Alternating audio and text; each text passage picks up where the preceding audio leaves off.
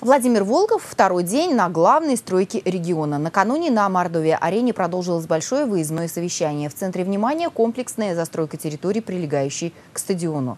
Свой строительный день Владимир Волков начал с моста через реку Инсар за железнодорожным переездом на улице Советская.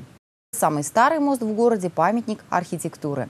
В 2018 году его обновят, проведут капитальный ремонт, мост станет пешеходным. Отсюда глава республики наблюдал работы по благоустройству набережной Инсара. Подрядчик строительства ПСО «Казань» получил ряд серьезных замечаний. И главное, надо увеличивать количество техники на объекте, максимально использовать каждый рабочий день. Согласно проекту, русло Инсара от Химарского моста на протяжении почти километра будет расширено до 85 метров. Набережная со стороны стадиона будет двухъярусной. Подрядчик обещает главе республики применить все свои знания и опыт. Несколько лет назад строительная компания благоустраивала похожий объект Кремлевскую набережную в Казани.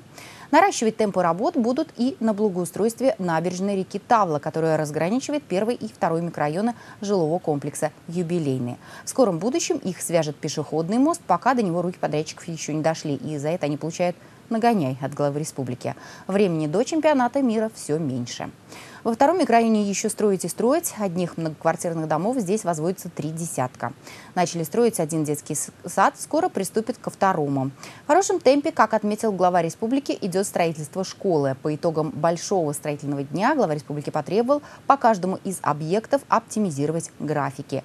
Проконтролировать все стройки Владимир Волков пообещал через неделю. К этому времени работа на всех участках должна быть усилена, подчеркнул глава республики.